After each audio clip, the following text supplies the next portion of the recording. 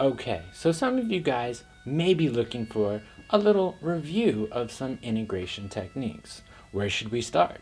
Naturally, U sub. Everybody can do polynomials. so let's go and let's take a look at this first one, this green one. In this green one, we see it particularly nasty.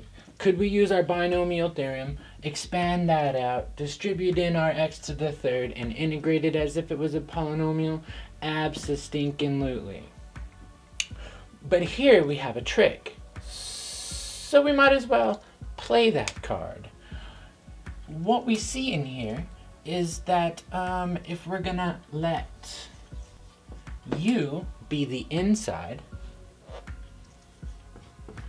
1 minus x to the fourth, then du, the derivative of u with respect to x, is going to be minus 4x to the third dx.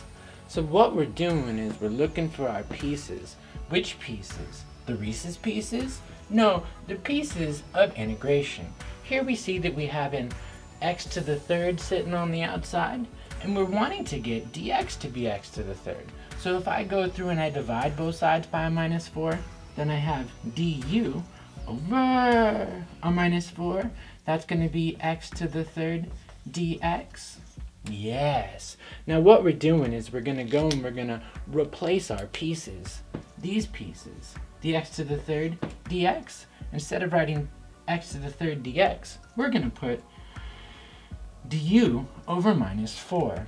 And instead of putting x 1 minus x to the fourth, we're going to put u.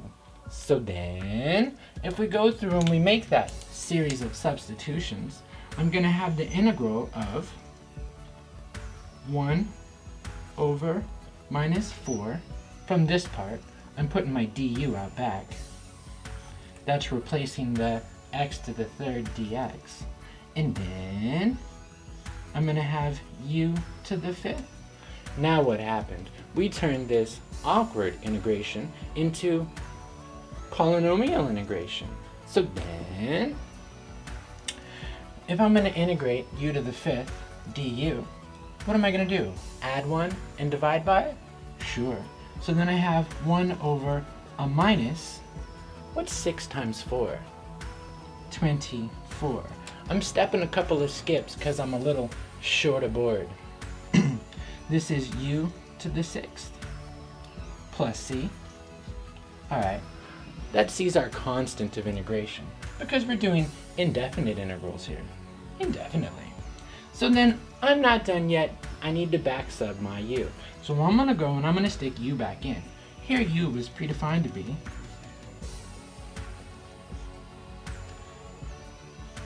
one minus x to the fourth plus that C.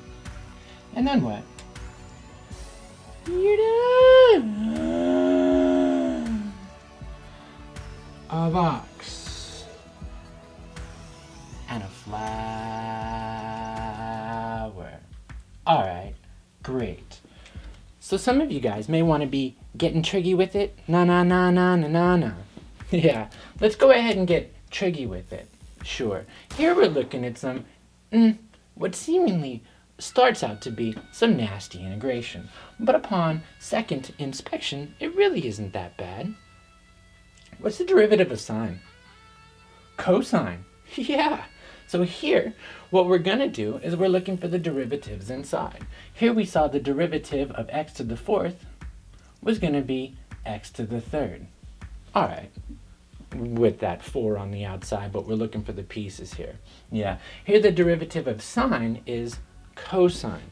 So if you don't mind me, remember, note, this is some lazy notation, that the sine cubed x is really the sine of x cubed. So that being said, I can go and I can make my substitution. Here in my blue example, I'm going to let u be the thing I want to take the derivative of, sine x. So then du is going to be cosine x.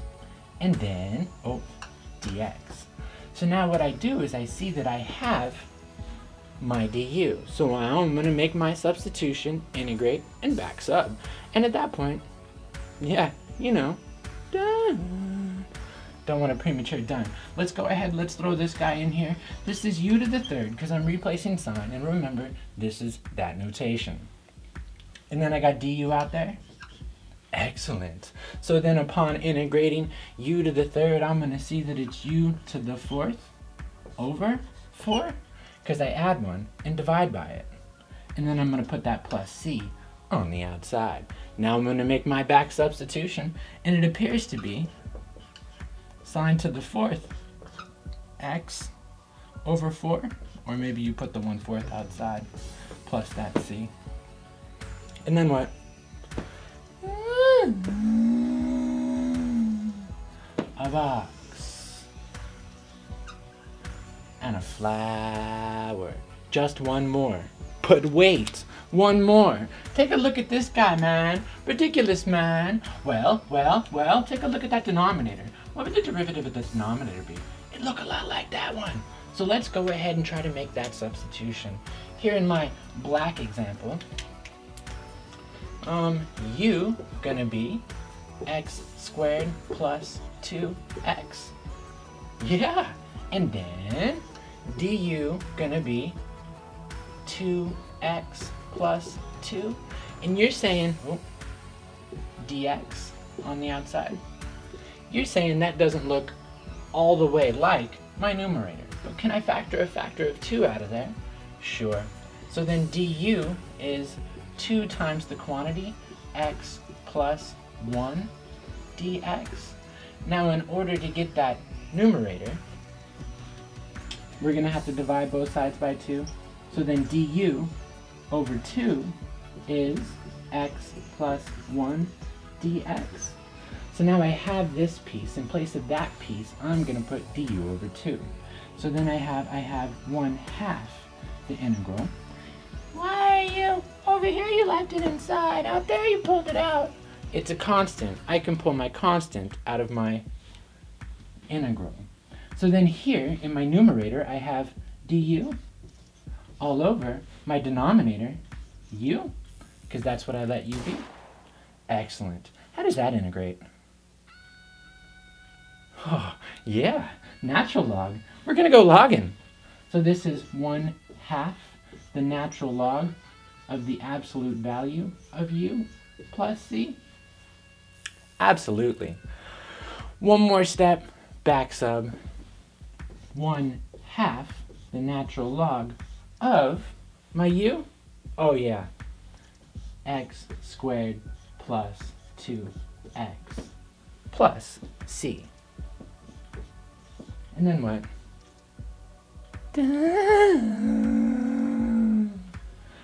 A box. And a flower.